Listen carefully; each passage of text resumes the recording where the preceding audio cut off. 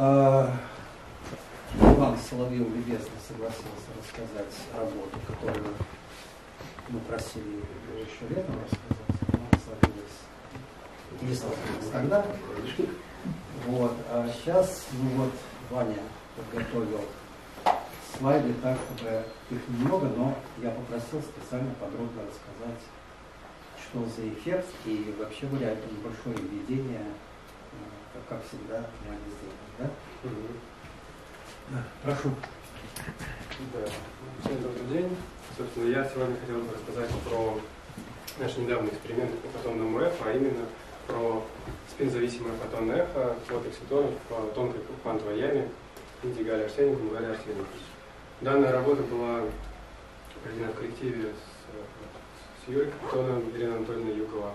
А, разработала теорию, а, Юрий Петрович Ефимов, Вячеслав Сергей Алексеевич Елисеев предоставили образец, а Сергей Владимирович Полтавцев является руководителем нашего направления Петергофе и моим научным руководителем. А, ну, вначале я расскажу, почему мы занимаемся этими исследованиями. Вкратце а, объясню суть четырехволнового смешения и фотонного эха. Дальше приведу оригинальную экспериментальную часть и сравню результаты, полученные нашим таким комплексным методом, с, с экспериментом классическим, который используется для изучения спинной динамики в полупроводниках. Это пампровки раскровращения. Ну, четырехволновое смешение и фотонный эффект – это нелинейный оптический эффект. А, нелинейные эффекты а, наблюдаются в средах, в которых отклик системы зависит нелинейным образом от возбуждающего электромагнитного поля. Ну и принято раскладывать поляризацию среды по степеням электромагнитного поля а коэффициенты хи отвечают за степень, за степень нелинейности исследования среды. Ну, вот, например, коэффициент хи1 отвечает за линейный отклик, то есть поглощение, отражение структуры. Хи2 отвечает за такой эффект, как генерация второй гармоники, а Хи3, в частности, отвечает за четырехволновое смешение, ну и фотонное. Как правило, э, Хи более Хи1 много больше, чем Хи2, а Хи3 много меньше, чем Хи2. Но в довольно интенсивных полях эти эффекты стоит учитывать, и они, собственно, наблюдаются экспериментально. А, ну, как я сказал, четырехволновое смешение – это линейный эффект, связанный с наличием Хи3, и он проявляется следующим образом. При возбуждении нелинейной среды Э, тремя э, оптическими электромагнитными волнами э, возникает нелинейный когерентный отклик, направление которого не совпадает ни с направлением ни одной из возбуждающих волн. Ну, схематически это показано на этом рисунке. Мы занимаемся именно специфическим, так называемым вырожденным четырехволновым смешением, в котором, во-первых, все три волны имеют одну и ту же несущую оптическую частоту, а, и в качестве третьей волны выступает вторая. То есть она как бы происходит некая такая самодифракция. Ну и волновой вектор четырехволнового смешения определяется линией комбинации волновых векторов падающего света. Ну, в частности, одно из направлений это 2К2 минус К1. Оно не совпадает низко 1, низко 2, поэтому оно, как бы, его можно отфильтровать пространственно от э, остальных волн. В случае, если вы исследуете систему с большим неоднородным расширением, то четырехволновое смешение представляется в виде вот, фотонного эха. Но такие нелинейные эффекты, они интересны как с фундаментальной точки зрения, исследования нелинейных свойств оптических средств, так и можно сказать, с прикладной точки зрения. Ну, вот, наиболее интересные последние результаты, полученные в нашей группе, это, например, эксперименты по полиметрическим зависимостям фотонного эха.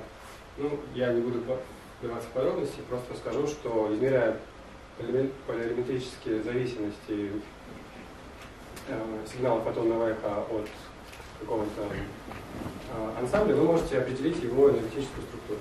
То есть вы можете, грубо говоря, э, отличить трион от экситона. То есть вы смотрите сигнал фотонного То есть не энергетическую структуру, а природу состояния. Нет, ну, Для энергетической структуры надо все-таки по энергии двигаться. Нет, ну вы имеется в виду в том смысле, что вы можете отличить у вас э, Трион э, там V-схема, например, то есть э, трехуровневая система, да, либо это у вас, например, две независимые системы, как в случае с трионом. Ну, то есть Понятно. тут вы не сможете отличить, например, трион от диона лиц, Ну, что И на самом деле, действительно, это терминологическая какая-то степени вещь. Леон или Донолик. Ну, в этом смысле, да. Ну, часто возникает такой вопрос, вот вы смотрите спектр, и если, например, какая-то неизвестная структура, что это такое? Понятно. Я И два слова буквально скажу, что ну, лет, наверное, 30 назад, когда по- понятие трион появилось, там, значит, ну, люди, так сказать, это обсуждали, ну и говорилось, ну, так, ну, это же просто-напросто принесли все там. В каком-то смысле это действительно так.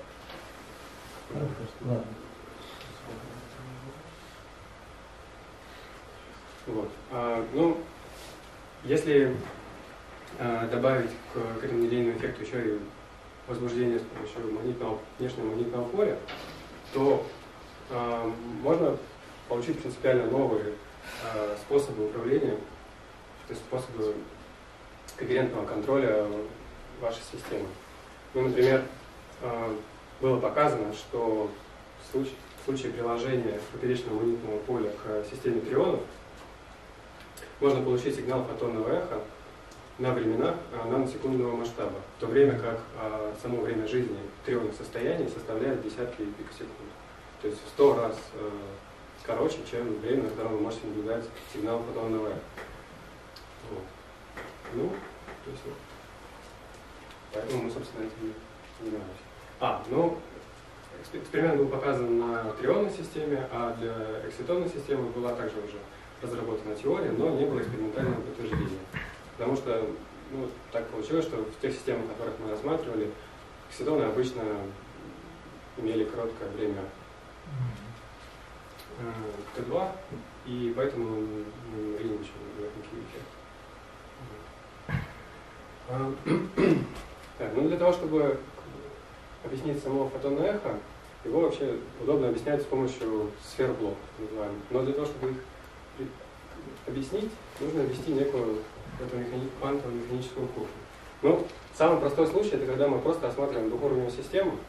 Что такое двухуровневая система? Ну, это идеализированный такой двухуровневый атом, в котором есть только возбужденное и основное возбужденное состояние. Реальную систему можно в некоторых случаях рассматривать как двухуровневую, если есть а, два спектрально выделенных каких-то уровня, между которыми разрешен оптический переход. Ну и рассмотрим взаимодействие такой двухуровневой системы с электромагнитной волной, а, частота которой ам, соответствует оптическому переходу между нулевым и первым уровнем. Можно записать гамильтониан такой системы. А, Он будет как гамильтониан возбужденной системой и возмущение электромагнитного поля в дипольном приближении. Далее, такой гамильтониан, матрицу этого гамильтониана, можно записать, я просто это не буду сейчас показывать, можно записать в виде набора виде линейной комбинации а, матриц Паули, которая обозначается как сигма. Там будет а, единичная матрица и матрица Паули. И дальше, если записать для этих матриц Паули уравнение Гайзенберга, то можно получить некую систему дифференциальных уравнений на, собственно, эти а, матричные операторы Паули. И они будут образовывать называемую систему оптических уравнений блока. И можно показать, что вот эта задача сводится просто к задаче вращения некого эм, вектора, который называется псевдоспином, на единичной сфере. Сфера, которая называется сферой блока. То есть все взаимодействие вашего света с какой системой приводится просто к вращению некого вектора на э, этой сфере. Ну, на, на этой на, на сфере вертикально ось соответствует разнице населенности э, основного возбужденного состояния, а в горизонтальной плоскости откладывается поляризация среды. Вот. Ну, Если система у вас находится в, в основном состоянии, то, соответственно, у вас просто есть, соответственно, один вектор, направленный строго в вертикальную. Реально всегда имеется дело с каким-то ансамблем двухуровневых систем. И, как правило, эти системы испытывают неоднородное уширение. Это означает, что в наборе ваших двухуровневых систем будет а, различная частота перехода. Но это просто соответствует тому, что у вас будет некий набор э, векторов э, с, немного разным поведением. Сейчас я его объясню. Ну, взаимодействие со светом осуществляется следующим образом. Если вы э, возбудите систему неким импульсом э, с определенной длительностью амплитуды, и вы знаете величину дипольного момента перехода, то вы можете посчитать некоторую физическую величину, как э, площадь импульса. Так вот, если эта площадь импульса равна и пополам, например, то ваша система просто перевернется на этот угол вертикальной, ну, вертикальной плоскости. У вас происходит при возбуждении импульсом пи пополам происходит поворот векторов э, на горизонтальную плоскость. Это означает, что у вас система сейчас находится в суперпозиции между основным возбужденным состоянием. И в начальный момент времени, когда вы возбудили все свои двухуровневые системы, они все находятся в фазе. А, после этого они начинают осциллировать, и, как я сказал, ввиду неоднородного, неоднородного ширения, каждая из этих двухуровневых систем индивидуально осциллирует на своей частоте, близкой к некой центральной частоте омега 0,1. Ну, это приводит к тому, что с течением времени ваши вектора на сфере блока начинают так, расплываться. А средний это соответствует центральной частоте, ну, те, которые опережают, они, условно говоря, начинают разъезжаться сюда, те, которые запаздывают, разъезжаются в обратную сторону. И ввиду этого неоднородного уширения у вас э, за время Т2 со звездой все эти вектора распределяются уже по горизонтальной плоскости. Макроскопическая поляризация, определяемая суммы этих векторов, она будет просто нулевая. Таким образом, в реальных системах вы бы не смогли наблюдать этот эффект. Но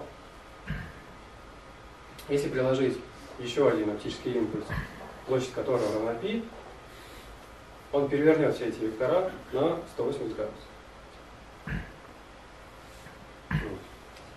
А дальше динамика сохраняется. То есть те, которые шли против часовой, они так и продолжают идти против часовой стрелки, а те, которые по часовой стрелке шли, они продолжают идти против часовой стрелки. И ну, это можно понять, что через время равной задержки между первым и вторым импульсом все эти вектора снова сойдутся только уже в противоположном направлении. И вы получите макроскопическую ненулевую поляризацию среды. Собственно, это и есть снова фотон, называемый эффект фотонного вот. Ну, то есть здесь он схематически То есть вы возбуждаете первым импульсом систему, потом у вас происходит диффузировка за время Т1-2 между двумя импульсами, далее рефокусирующий импульс, а, и за точно такое же время Т1-2 у вас происходит обратная синхронизация, и возникает сигнал фотонного. Временной профиль, а, ширина этого Гаусяна, она определяется величиной неоднородного уширения. Чем, чем больше неоднородного уширения, тем короче будет во времени профиль потом.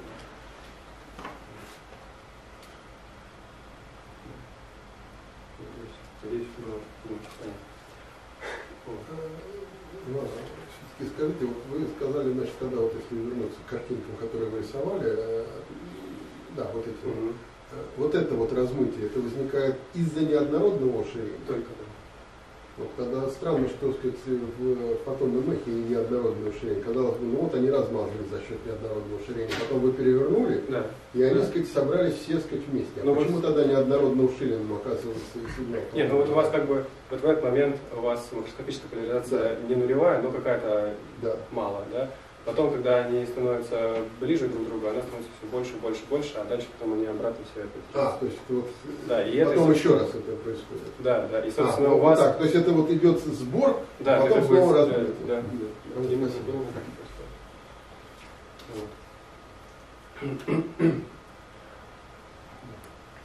А, Ну, экспериментальная установка реализована у нас здесь, в Петергофе, на кафедре фотоники, на базе криостата замкнутого цикла с сверхпроводящими магнитами. А, Собственно, установка позволяет нам измерять э, э, сигнал фотонного эха с, секундным временным разрешением в полях до 7 Тесла, ну, реально там, до 6 Тесла. Эм, В качестве образца использовалась одиночная э, тонкая квантовая яма арсеникум говоря, арсеникум с маленьким содержанием, с малым содержанием Индия. Образец был выращен на установке тоже у нас в присутственном центре нанофотоника. Здесь приведена очень упрощенная схема реальной установки, то есть мы возбуждаем двумя импульсами э, с заданной э, поляризацией и смотрим э, когерентный отклик направления 2К2 минус К1 э, от структуры ну, в геометрии на отражение. Мы используем синхронное детектирование для того, чтобы увеличить э, чувствительность нашей установки. Собственно, для этого используется некий опорный, еще дополнительный импульс, и детектируется величина кросс-корреляции между опорным импульсом и самим сигналом. Ну, потом... А, да, а магнитное поле да, в данной работе было в геометрии Фойта, то есть это перпендикуляр в плоскости образца.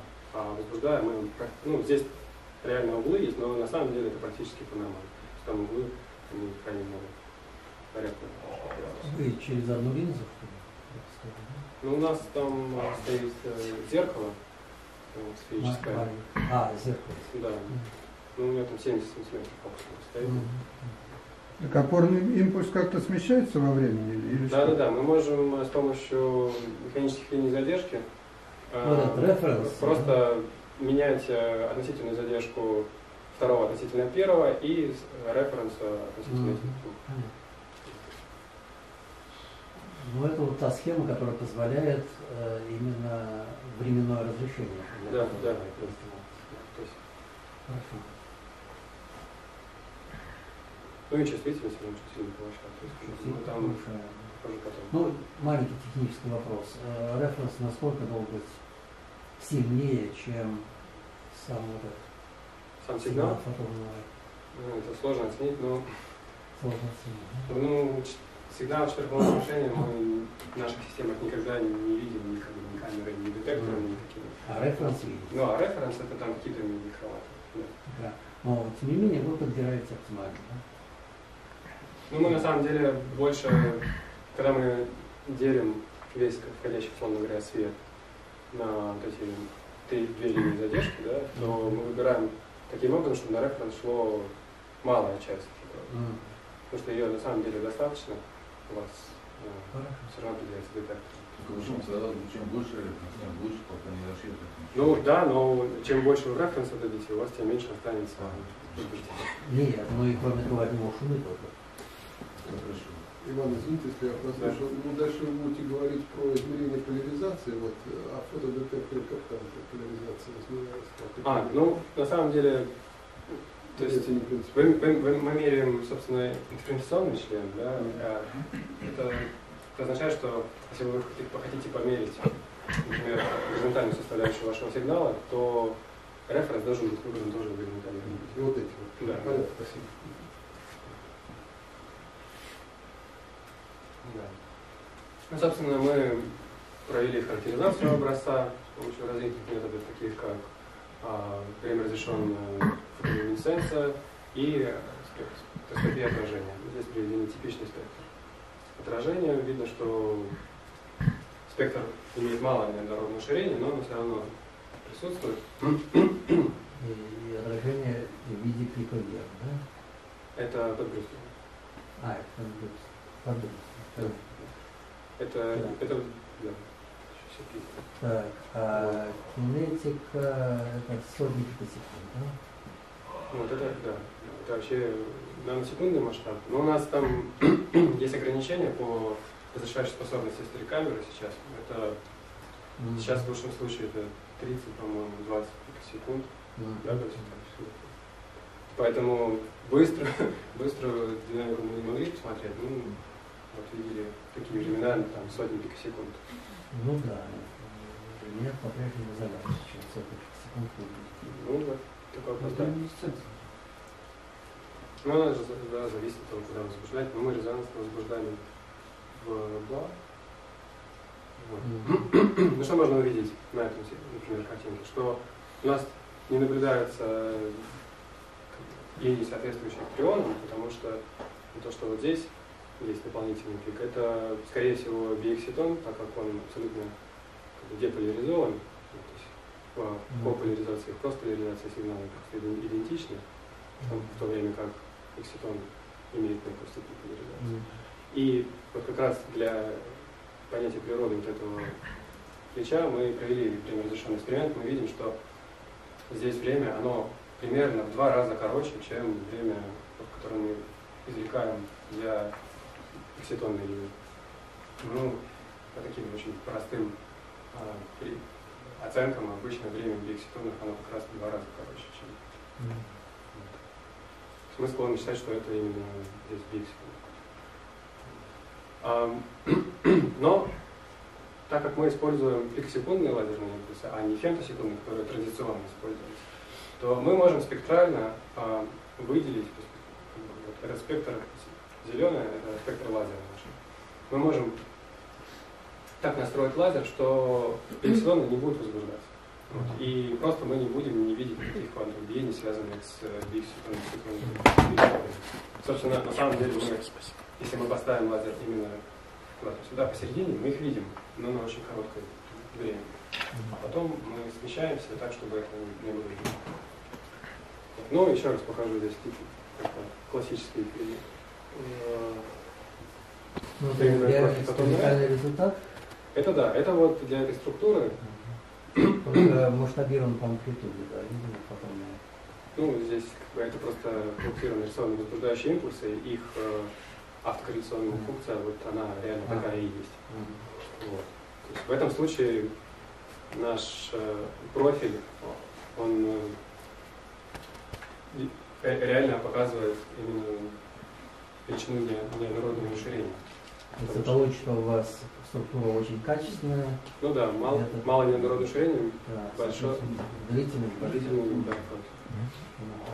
Обычно, Сергей Полтавцев показывал в экспериментах, у них э, этот временной профиль, который он ограничен просто Лазер. Да, да.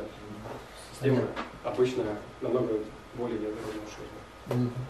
Ну и меняя, сканируя задержку ТАО 1.2, вы можете получить серию таких как бы, профилей, да, и, и амплитуда этого, этих профилей, вот она зависит экспоненциально от э, задержки То 1.2. есть действительно хорошо укладывается на экспозицию. Да, да. Но вместо того, чтобы прописывать э, такие вот серии временных профилей, мы просто ставим на удвоенную задержку и пишем Мгм. чисто моноэкспоненциальную кривую. Мгм. Собственно, дальше будет речь идти именно о вот таких вот э, диких. Ну и отсюда мы можем вычислить. Но это вот все-таки экспериментальные данные получены для этой квантовой ямы, да? Да, это все вот. э, да.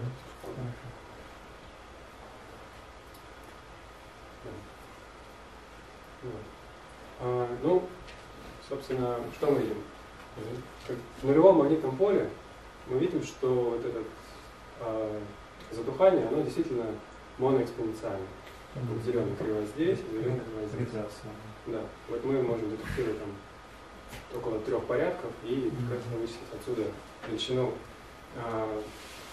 ну, время, время когерентности, либо обратная величина скорости фазы релаксации. И она здесь порядка 30 пикосекунд. Индексами H и V а, мы обозначаем поляризационную геометрию нашего эксперимента. Вот, еще раз, здесь просто схематически нарисован образец, поле, как мы помним, вдоль образца. Вот. А если у нас э, Мы используем линейно поляризованные импульсы. Если H, H это значит, что горизонтальный, V это вертикальный, D и X это диагональный и кросс-диагональная поляризация. Вот. Это означает, что у нас горизонтальный первый, горизонтальный второй импульс и детектируем мы горизонтальную составляющую сигнала фотонного. Ну, а здесь вертикально все ориентировано. Без магнитного поля у вас никакой разницы не должно быть, зеленый кривой. Они, разница может быть только в случае наличия какой-то анизотропии, но они на самом деле с точностью, с погрешностью, с точностью, как бы, которую мы можем измерить, они совпадают. Ну, там яма такая узенькая, что Ну, экситон, ну, экситон вылезает в слои, да, и поэтому анисотропия должна быть слабая. Мы наблюдали на, до- на уровне некоторых там, процентов изменений, но это не так точно. Вот. Однако, когда мы включаем поперечное магнитное поле, мы видим, что сигнал из моноэкспоненциального спада превращается в некий вот такой сложно осциллирующий сигнал, синий кривая. Ну, в горизонтальной э, конфигурации и в вертикальной. В больших полях мы видим, что сигнал зависит от того, в какой поляризационной геометрии вы измеряете. Мгм. То есть здесь уже не осталось никаких вот, э, моноэкспоненциальных дикеев, да, возникают какие-то осцилляции. И чтобы объяснить это- эти эффекты, мы рассматриваем, вот, Ирина Анатольевна разработала пятиуровневую модель экситона, которая Я лично ну, вы для нас все. Мы с Яной. Хорошо. Да, да. Да, на самом деле уже вот, э, сколько, пару лет назад да, была опубликована э, работа, в которой были показаны те- теоретические зависимости сигнала фото- спинозависимого фотонного эха от экситона. Ну, что, собственно, эта модель? Она состоит из одного основного состояния вот, и э, двух оптически разрешенных э, плюс-минус еди- со суммарным спином плюс-минус единица. И два так называемых темных оксидонных состояния со спином плюс-минус. Мы, а, да, ну напомню, что это. Вот. Поэтому здесь такая конфигурация. То есть э, в тот момент, когда у вас происходит возбуждение системы вы переводите из основного состояния, ну, либо сигма плюс, либо сигма минус, плюс или минус единицу. А во время между импульсами, то есть вот за промежуток тау 1-2, у вас происходит прецессия как, ну, дырки и электрона в экситоне а, на вармарских частотах вокруг э, вектора магнитного поля. Вот, собственно, это магнитное поле включает замешивание светлых и темных состояний через омега и вот такие еще диагонали происходят дальше. Вот. Ну и эти фарморские прецессии являются причиной э, осциллирующего поведения сигнала фотонного эха.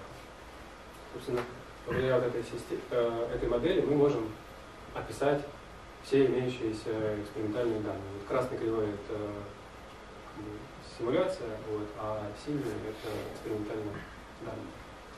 И вот, например, для 6 Тесла здесь используются общие параметры э, G-фактор электрона, G-фактор дырки, время Т2, э, светлых, там, время темных эксонов. Все эти параметры, они единые для всех четырех геометрий. Но из этого, из-за теоретического анализа экспериментальных данных мы можем вычислить некоторые оценки для вот этих, собственно, параметров. То есть мы, во-первых, мы видим проявление некой а, когерентной динамики темных экситонных состояний. На самом деле, вот вы можете посмотреть, что в нулевом поле у вас был один наклон, да, а при включении магнитного поля, ну, только в малых полях, а, видно, что сигнал затухает намного медленнее. То есть, вот, например, вот на больших задержках у вас разница в порядок э, сигнала. При том, что, согласно теории, у вас просто, если бы было время то же самое, то сигнал не должен осциллировать вокруг э, м, исходной кривой, а он должен просто входить в ноль. Потому что у вас переводится в темное состояние. Отсюда мы можем оценить время Т2 для темных эксцитонов, и оно у нас получается, ну, это очень грубая оценка, но порядка 130 где-то пикосекунд. То время как для светлых эксцитонов у нас вот 30 пикосекунд. Это вот именно Фазовая релаксация. время- время- Не, нет, это, ну, в смысле, это, это необратимое время фазы релаксации. Это не Т1, не... Т2, то, то есть темные экситоны только имеют спины, они разбегаются. Нет, здесь это не... Это не спины, Не это Это оптическая бы- поляризация. А, поляризация, да? Да. Они под раз- Здесь видимо, пока- переход под это разрешен не как-то. А что такое? А, поляризация, то есть пока они смешаны Как со живет светлыми, да. у них есть поляризация, которая тоже разбегается. Ну. Ну, по аналогии, как для светлых, вы можете просто ввести его. Хорошо, а почему эта поляризация медленнее разбегается? Вот это экспериментальный факт, ну, в смысле, как минимум. А, Иван Владимирович, это не а разбег. Она разваливается. Это не разбег, это развал. А, Разбег это, это два со звездой.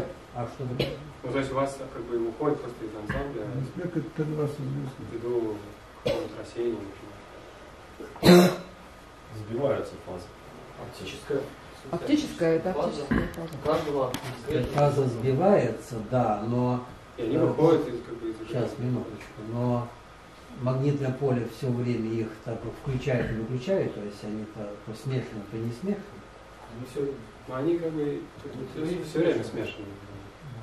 Нет, ну прецессия такая, что они в какой-то момент там. Ну это иллюзия, что это Да. прецессия. Понимаете, это Да. все равно какое-то состояние, да, которое вот То есть родилось какое-то, да, родившись, все. Да. Оно как, они как бы просто становятся ну, разрешенными частично, да? Частично Ну, разрешено, всё. да. И не то, что они там полпериода или не там Вот какое-то. Это время соответствует России на акустическом фоне. То есть Ну, для это там опти- акустический фон. Ну, Для, для, для светлых экситонов основной, основной канал это, видимо, просто. Ну, радиационный Оно канал. тоже определяет, да. А для темных А для темных э, радиационный канал меньше, видимо, да? А, но это зависит от магнитного поля тогда. С увеличением магнитного поля они замешиваются сильнее, и радиационный канал становится равен как для светлого экситона. Замешивание не, не будет сильнее. Здесь вообще какой-то- частотой просто будет. Ну, частота будет, оно, оно все вместе. То есть, понимаете, вы дальше уже говорите просто об окситонных состояниях, которые все становятся смешанные. Да. Но у них с- суммарно это вот скорости суммарные становятся, конечно. Да. Ну, это так и получается. То есть в конце, вот в шести теслах уже там суммарная. Суммарное время. Конечно. Ну, скорость он суммарная. Это время, тем самым вот Т2 вроде как должно зависеть от магнитного поля. Или не зависит? Нет, вообще модели оно не... Модели ну, мы не закладывали этого. почему? Нет, Оно ну, за счет мы не другого там зависит, как бы, затухание за счет другого получилось. Мы можем просто ввести фонологическую релаксацию, да, и для различных состояний. Ну вот это не очевидно. Казалось бы, что сильное магнитное поле делает светлые и темные окситоны Так одинаково учитываем. наполовину светлые. Так это мы учитываем. Это мы учитываем за счет прецессии. Это Да. же, это же не Т2, это же не сбивка фазы, понимаете? Это Вы описываете вообще. ответ. То есть, как бы, Ну, это характеристика. Уже как бы результирующая, вот, например, да, вот Оно, ваши конечно, поля. зависит от поля. Ну, тут как бы сложно сравнить, но видно примерно, что этот наклон, он что в больших полях, что без поля, он примерно одинаковый. Потому Это, это, говорит о том, что уже как бы результирующая наблюдаемая величина, она будет на неком таком среднем осциллировать. В том, что время Т2 для светлых и для темных, оно может быть все равно разное. Да? А Вы можете только при двух кельвинах да? Мы можем При двух кельвинах можете. А при Если скольких хочется? 30, Ну, там 30. Нет, там время Т2, в смысле, просто единицы становится. У вас оптические панели включаются. Хорошо. Нет, оптически не 70. Нет, ну, у нас есть работа, например, там, в Индии, в Индии Гальвен, Нет, N это ради бога. и там, на самом деле, структура была еще, там она как бы не как ямы, даже как точки, и там Нет. еще меньше взаимодействия. Нет. Тем не менее, Когда N это ради бога. В Синедигале 60 никаких фанонов оптических не может быть. Нет, Тут вопрос, наверное, разбивается на. Во-первых, технически, сказать, это возможно, Да, там, это вопрос возможно. температуру. не, ну это надо тогда уже другой, скорее, я знаю. Ага. Потому что у нас получается там как бы газ, и, и в нем большие мощности нельзя использовать. Ну и это было уже на грани, на самом деле, потому что если у вас будет, например, вот, в два раза меньше там, время, да, просто хотя бы всего лишь в два раза меньше, даже аку- акустически будет легко добавить, вклад, то вы уже не увидите никаких осцилляций, просто не хватит времени. Хорошо, э. Ваня, на пальцах все-таки, как объяснить, что в магнитном поле 1 Тесла вот этот э, фотонное эхо видно э, гораздо больше, чем без, магнитного поля на временах там, в сотни пикосекунд. 100, 150 пикосекунд. Вот. почему? Почему вот Вот здесь почему. сигнал подрос? Да. Вот если вы м, За счет того, что частично он в темном состоянии, Да, да, да, да. То есть если вы начнете обычно вообще э, считается без каких-либо релакс- релаксаций, да. Но можно ввести руками эту релаксацию и ввести разные показатели для светлых и темных состояний. И если вы ведете, например, время Т2 для темных состояний бесконечность, Да. то у вас вообще выйдет после первой осцилляции, условно говоря, на полку. да. Вот. Ну, на полку, но поскольку магнитное поле дальше крутит, то не на полку, а вот на такие Ну, вот, да, да, да. которые провалы будут экспоненциально падать. Ну, Это только полка Провал соответствует При низком поле Нет, будет нет, полка, пол- там будет просто полка, до определенного- картинке там до гаммы. осцилляция. А почему второй не будет провала? Это не осцилляция, это, как не бы сказать, это не осцилляция, это на самом деле такая вот фикция. Вот пока у вас частота не перевалит через гамму, вы осцилляции не увидите. Будет Ага. одна, одна как бы будет, а дальше нет. И будет А полка. А, а так оно садится на затухание, как бы, которое соответствует э, Понятно. темному экситону. Понятно.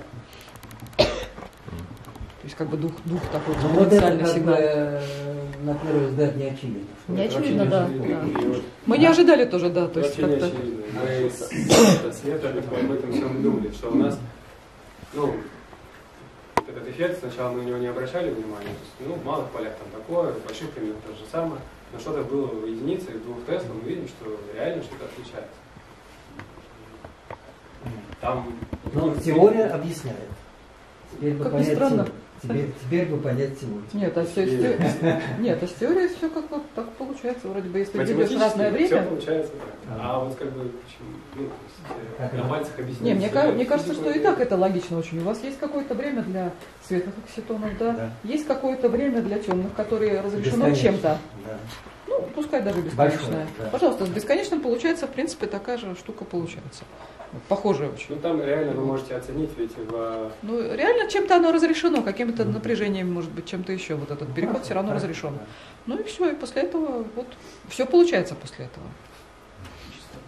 Ну, это как-нибудь, может быть, Ирина Анатольевна нам... Ну, эффективно, эффективное время, эффективное время, эффективная частота, конечно, зависит от поля. То есть все, что включает в себя вот эти вот эффекты, да, у вас как бы получается эффективное Нет, время затухания окситона. Анатольевна, Вопрос Оно зависит от поля. Как конечно. понять полку? Вот, вот, допустим, темное время бесконечно. Там два, два затухающих сигнала. Да. Светлые и темные. И вот Да. и они входят туда. Понимаете? Это это, два времени. Вот там нужно одно светлое, отдельно второе темное. как-нибудь вас послушать, чтобы вы это не торопясь объяснили. Да. Мы, смогли это понять вот... Потому что этот эффект не- ну, как бы не очевидный, и хотелось бы его понять. Ну давайте следующую серию Да. устроим как-нибудь. Да. Что- Этого эффекта. Да. Да, да, да. А частота прецессии от поля зависит как-то хитро и меньше, чем Да, частота- соликом не бывает, да? А, ну да, ну, то есть э, реально дельта соником определяет вашу частоту и как бы во всех геометриях. Вот. А, видно, что она, во-первых, ну, по-разному, да, зависит от геометрии, я дальше покажу, да. А там был еще вопрос про 70 геометрий. Чем хорошо? Не, нет, просто говорит там до 10, до 20. Я думаю, 130 просто будет температура или минус 2. А для этого магнитное поле зачем? Ну зачем? А, нет, это Нет, чтобы, чтобы отдельно- темные по, по, Да, чтобы тоже. увидеть вообще. А, в смысле, Ну, чтобы это- посмотреть, насколько меняется вот, вот этот вот. Да. Чтобы Это- механизм понять. Это уже Да. тонко. Ну, понятно, я понял.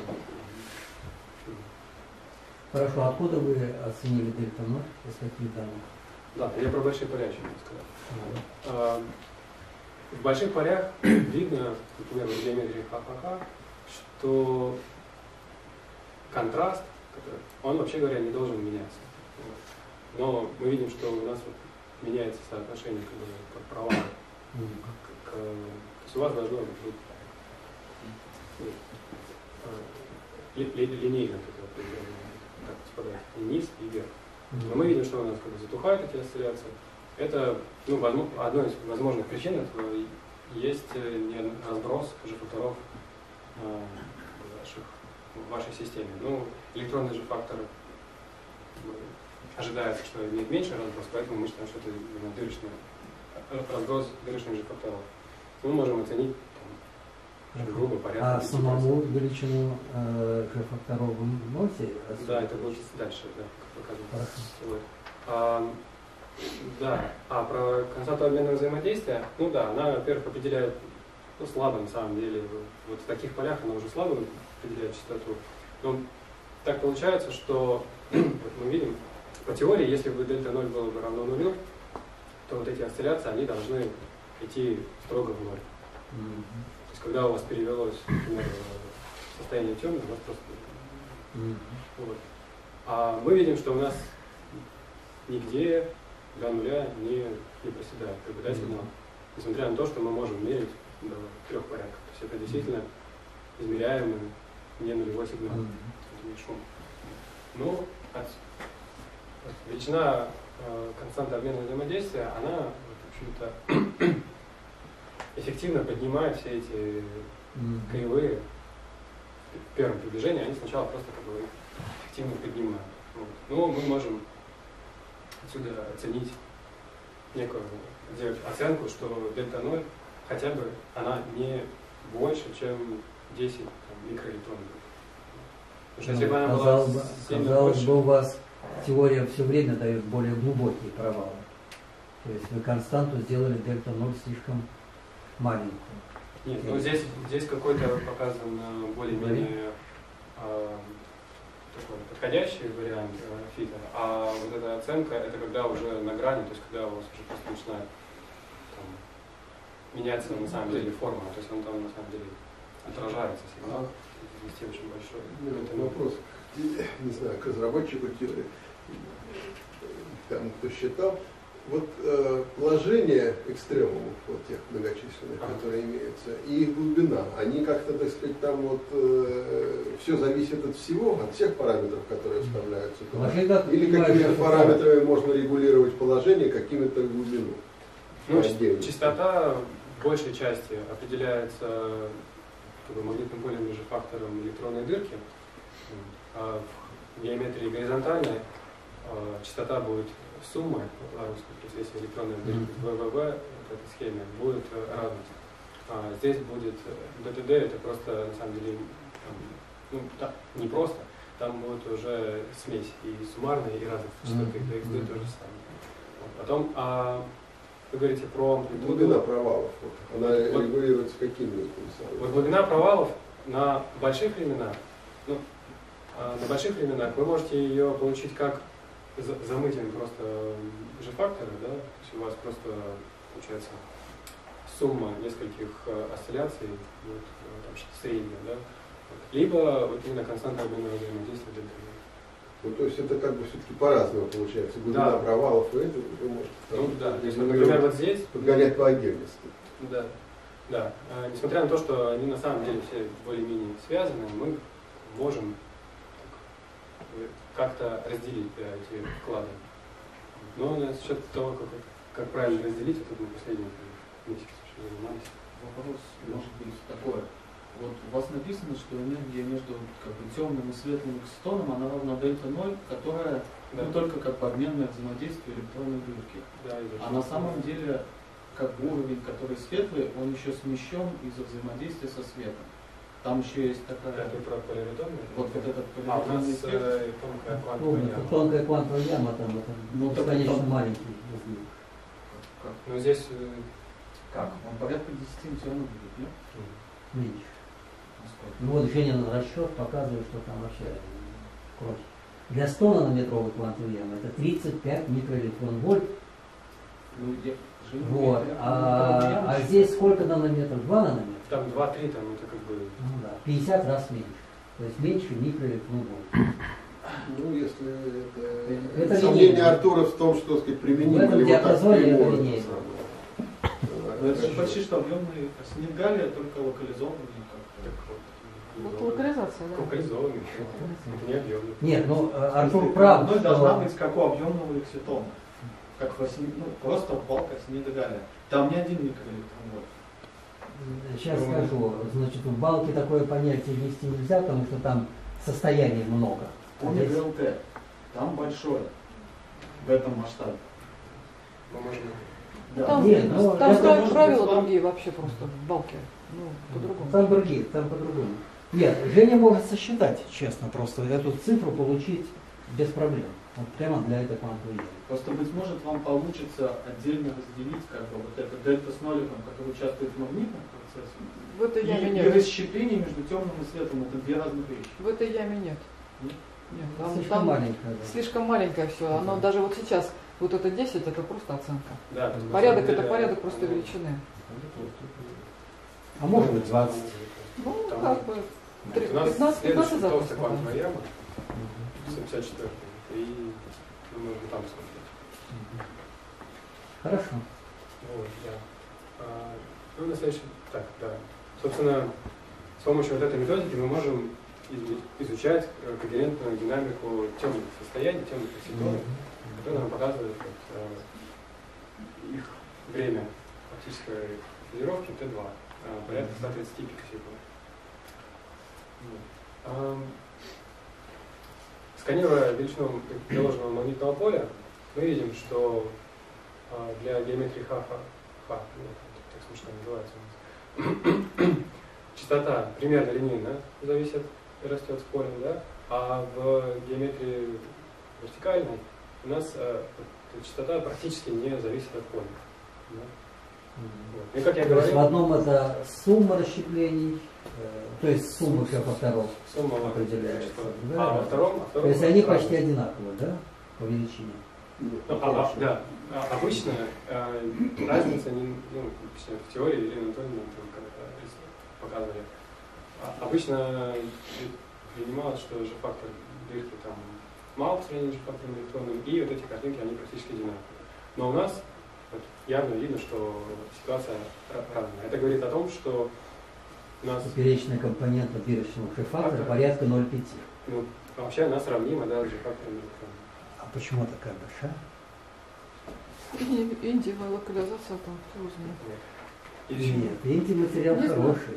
Из этих, э, из этих э, экспериментальных данных мы можем просто получить э, зависимость от от частоты для электронной для дырки э, Мгм. вот в этом диапазоне. Мгм. От 0 до 6 градусов. Ну, У нас, да, вот как бы это я рассказал. Теперь вообще обычно для таких э, ну, для получения информации о склиновой динамике используется такой эксперимент, как палм-проб керовское вращение. И наша установка позволяет просто перевести эм, один импульс из линейного в циркулярно поляризованный, сделать, поставить модулятор и детектировать уже палм-проб керовское вращение второго импульса без, без опорного точка. Вот. И мы смогли померить этот сигнал в той же точке, в, той в тех же условиях, в том же образце, ну и прописали в зависимости от 0 до 6 градусов. Ну, на любом поле видно, что кинетика сигнала а, вращения ограничена временем жизни экситона. Мгм. Вот, отсюда ну, тут можно спекулировать, что видим ли мы два времени, кор- некое короткое, порядка 15 пикосекунд, 60 пикосекунд, либо что-то просто вот среднее. Да? Вот, если Ну, 15 пикосекунд это хорошее время. Ну, да, 15 пикосекунд очень хорошо бьется с 30 пикосекундами Да, 2, да, да. Хорошее время. Эту динамику на масштабах 150 пикосекундах в фотонном эти, которая все равно определяется. Дырочный.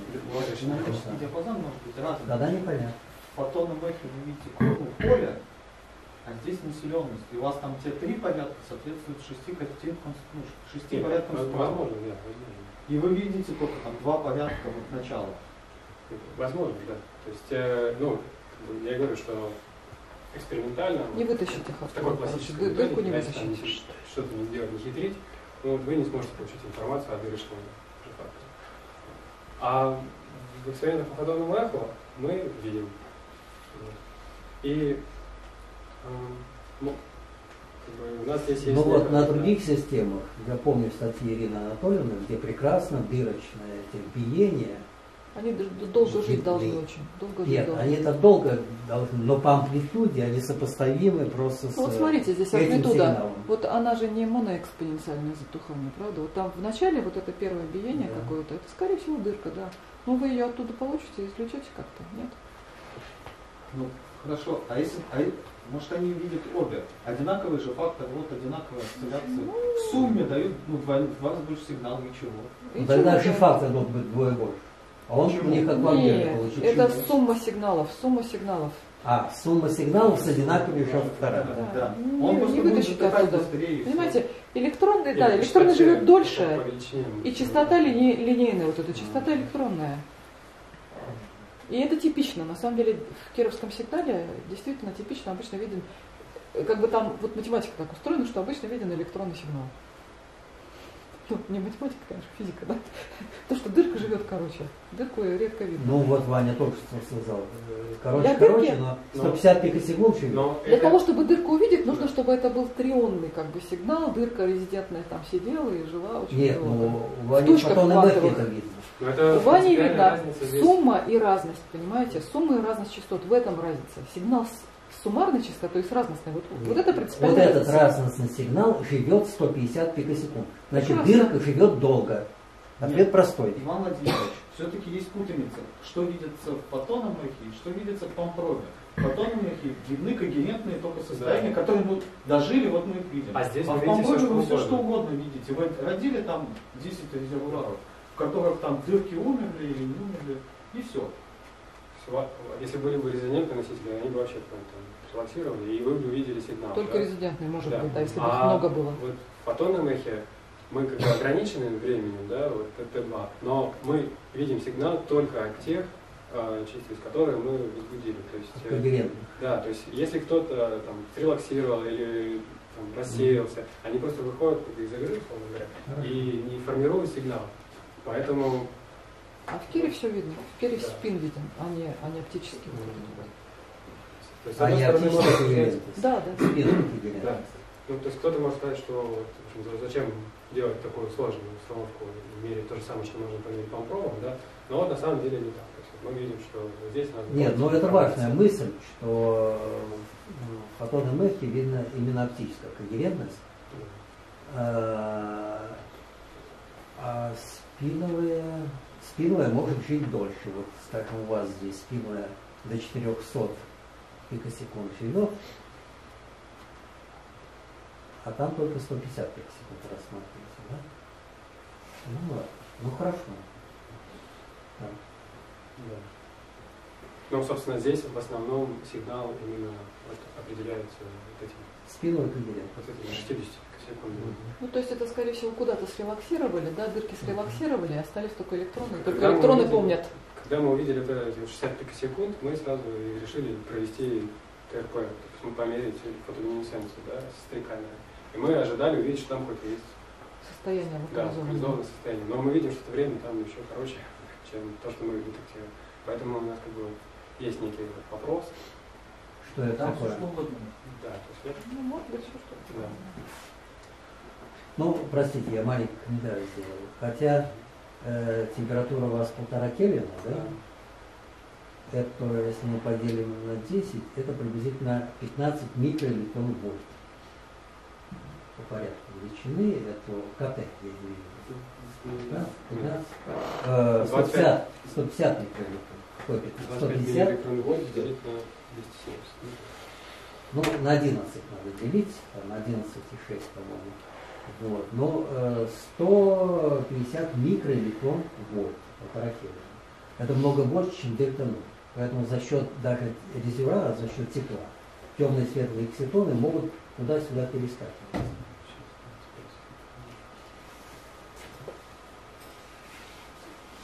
Вопрос, конечно, время перескока, он может быть достаточно медленный. Но тем не менее, вот КТ много больше, чем это дельта 0 ну вот Т2, которая там есть, скорее всего, определяется вот чем-то, каким-то процессом. Каким-то таким. Таким процессом. Ну вот они, вот они там, Наверное. эти там 30, там и 130 Да. пик считают. Вот надо иметь в виду, что для этой пары темный светлый циклон у вас все-таки температура высокая слишком. Не, мы не говорим, что это оно может быть и и меньше, просто говорим о том, верхний предел, что он не, не больше нашей. Так, ну вот электронный шифактор получился 45, про дырочный шифактор ничего сказать не можете. Ну, можем из сказать, предыдущих измерений он такой. линейно зависит, вообще говоря. Это нормально, это Филипп тоже э, видел, что нелинейно зависит дырочный шифактор от магнитного поля. И более того, очень старая Он 90 смотрел годов ФРТС статья. Ричарда Харли, где они специально изучали поведение дырочного магнитном Продольно поле. вообще сильно нелинейно бывает. Да. Это поперечное, тут еще поменьше. Это тоже. А а он не. Они имели, имели Или- продольным, но это не важно. Дырочный шифактор, вообще говоря, э, в э, магнитном поле смешивает. Ну, такой. Поэтому, значит, вот там дырочный шифактор ведет себя нелинейно. Ну, Ирина Анатольевна много больше меня знает. Там я есть, просто знаю, есть там какой-то еще коэффициент, который... Ну, хватает, да. Да, да. Ну и что нужно вынести отсюда? Что, что с такой комплексной спин-зависимой фотонное эхо позволяет нам пронаблюдать э, когерентную, как оптическую, так и спиновую динамику клетки Роксика. Мгм. Ну и все, собственно, что установка была со- создана, получено впервые экспериментальное подтверждение этой теории для а, поведения фотонного эхотокситона в магнитном поле. И, теория была до до разработана с включением да, вот этих разных времен тепла, проведены некие оценки для времени темных светлых окситонов. Вот. И также получен некий верхний предел для константы обмена. Спасибо. Ну, первый пункт э, можно уже как бы... э, Это первый как бы, результат, который находит полный на нашем. Полный первый результат. Ну, вот это По-моему, Ваня уже рассказывал на нашем семинаре. Я рассказывал про то, что мы в Германии. А, в Нет, Дортмунде. это именно здешняя установка. То есть это здесь полностью все Но сделано. установка сделана- создана уже два года назад, как я понимаю. да? Полтора. Ну, замечательно. Так мы Так. эксперимент делали, ну, сколько еще? Долго. А потом еще теорию строили долго. Да, Ну, все работы стали Ну, не, думаем, думаем, долго. да, все работы стали не быстрые, ну потому что я вот А когда это было быстро на самом Ну, ну, ну, ну. Э, В прошлом году и позапрошлом году было быстро, потому что опубликовано по 40, там, 8 статей за год. А в этом году... Скопились предыдущие какие-то А в этом- данные.